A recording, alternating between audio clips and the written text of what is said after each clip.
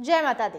नमस्कार दोस्तों, आप देख रहे हैं दुनिया का नंबर वन ज्योतिषीय यूट्यूब चैनल एस्ट्रोसेज टीवी और मैं शिल्पी मिश्रा हर बार की तरह इस बार भी आपको बताने वाली हूँ कि कैसा रहने वाला है सभी बारह राशि के जातकों का मार्च का महीना। चलिए बात कर लेते हैं सिंह राशि की। सिंह राशि ग्रह सूर्य द्वारा शासित एक अग्नि तत्व की राशि है। जैसा कि इनके नाम से ही ज्ञात होता है कि इस राशि के लोग सिंह की तरह निर्भीक, वीर और बहादुर होते हैं। सिंह राशि के तहत जो जन्मे लोग होते हैं, वो पैदाइशी लीडरशिप करने वाले होते हैं। साथ ही साथ अपनी स्थिरता और सुसंगति के कारण भी बहुत ज़्यादा माने जाते हैं। प्यार में सिंह जातकों को कोई जोड़ तोड़ हो ही नहीं सकता। ये सबसे अधिक वफादार साथी होते हैं और इनके साथी ये बहुत ज़्यादा संवेदनशील और बहुत ज़्यादा प्यार करने वाले होते हैं। तो ऐसे ही प्यार करने वाले प्रेमी के लिए मार्च का महीना कैसा रहने वाला है, ये जान लेते हैं। सबसे पहले बात कर लेते हैं आपके करियर के लिहाज से मार्च का महीना कैसा होगा। करियर के लिहाज से सिंह राशि के जातकों के लिए मार्च का ये महीना शुभ साबित होगा। आपके दसवें घर का स्वामी शुक्र, आरोही स्वामी सूर्य के साथ युति में है, जिसका तात्पर्य क्या है? आप इस समय के दौरान सक्रिय हैं और अपने पेशे के लिए पूर्ण रूप से समर्पित रहेंगे। सो पूरे महीने आपके दिमाग में आपकी नौकरी या बिज़नेस से जुड़ी हुई चीज़ें चलती रहने वाली हैं, चलती रहने वाली हैं। हर हाल में उनसे आपको बढ़त और विकास के बारे में सोचना है और दिशा में आपको कार्यरत रहना है। किस चीज़ के लिए? आगे बढ़ने की दिशा में। जैसा कि कहा गया है कि करनी कथनी से ज़्यादा ताकतवर होती है तो आपको भी यही करना है। करनी और कथनी को बहुत ज़्यादा ताकतवर बनाना है। ऐसे में आपको इन सभी चीज़ों के लिए बहुत ज़्यादा प्रयासरत रहना है और उसके बाद ही आपको शुभ फल मिलेगा। हालाँकि शुभ फल आपको बहुत जल्द दिखेगा। दसवें घर के स्वामी शुक्र महीने में पहले आधे हिस्से में जो है सातवें घर में है जो कि एक बहुत अच्छा योग बना रहे हैं जो लोग यात्रा परिवहन और वाहन के से संबंधित व्यवसाय से हैं। उनका जो काम है वो अनुकूल परिणाम होगा। उनके लिए इसके अलावा ये जो समय है उन लोगों के लिए भी बहुत ज़्यादा शुभ है जो संयुक्त बिज़नेस कर रहे हैं किसी के साथ पार्टनरशिप में काम कर रहे हैं तो उनके लिए भी ये वक्त जो है वो बहुत ज़्यादा बेनिफिशियल रहने वाला है।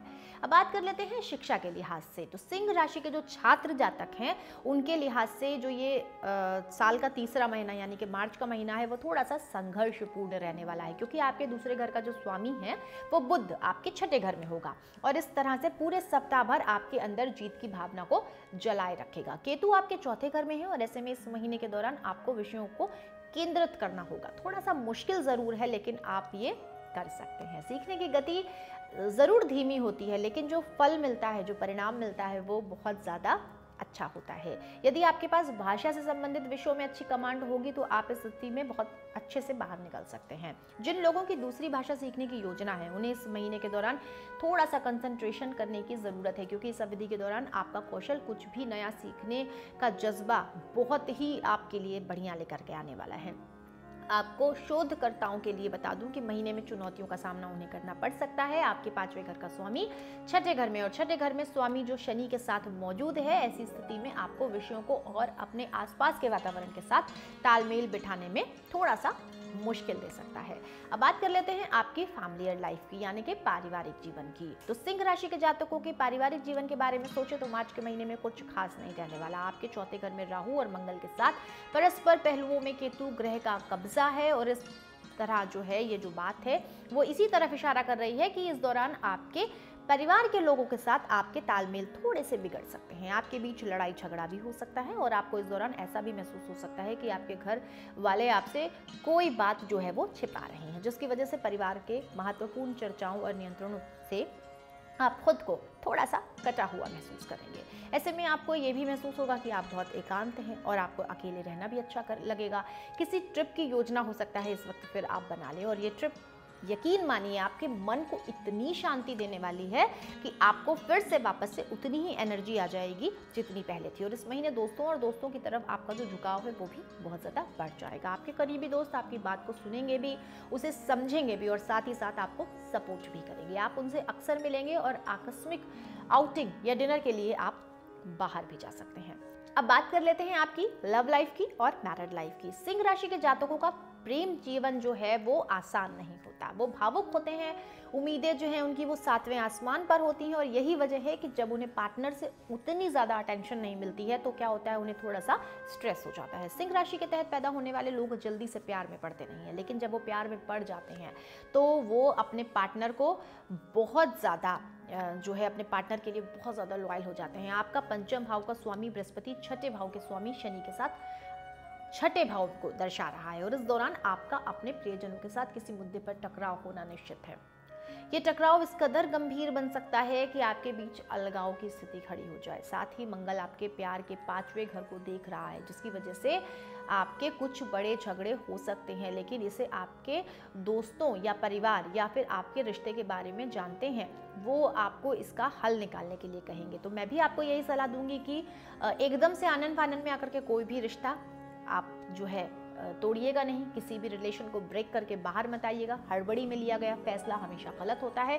सोचिए, समझिए और थोड़ा सा धैर्य बनाए रखिए। परिस्थितियाँ हैं, कभी बनती हैं और कभी बिगड़ जाती हैं।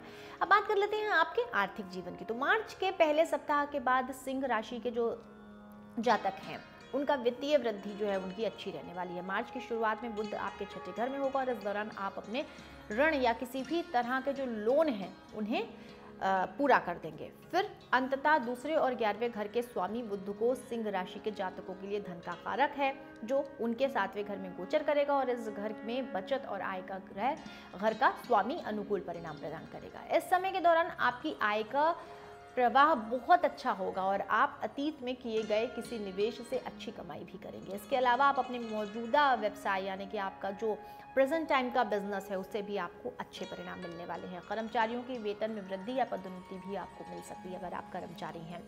वित्त में सुधार होना है। मार्च का ये महीना सिंह राशि वालों के लिए वित्तीय प्रचुरता भी लेकर आने वाला है और आपकी आर्थिक स्थिति को बहुत ज़्यादा स्ट्रॉन्ग बनाने वाला है। यदि आप किसी संपत्ति पर निवेश करने की योजना बना रहे हैं तो थोड़ा सा इंतज़ार कर लीजिए। मेरी तो यही सलाह होगी, क्योंकि राहु आपकी संपत्ति के घर को प्रत्यक्ष रूप से देख रहा है और जो इस बात की तरफ़ इशारा भी कर रहा है कि ये समय सौदा करने के लिए बिल्कुल भी उचित नहीं है। अब बात कर लेते हैं आपकी हेल्थ से जुड़ी हुई। तो मार्च के महीने में आपका स्वास्थ्य कैसा रहने वाला है? थोड़ी सी आपको परेशानी दे रहा है। महीने की शुरुआत व्यक्तिगत जीवन में गड़बड़ी के साथ आएगी। स्वास्थ्य को लेकर के थोड़ी सी आपको परेशानी होगी। भावनात्मक असंतुलन आपके लिए लेकर आएगी। आपका मेंटल पीस छिन जाएगा और आपको कुशलता से इन सभी चीज़ों से निपटना है और हाँ यकीन मानिए आप निपट भी लेंगे।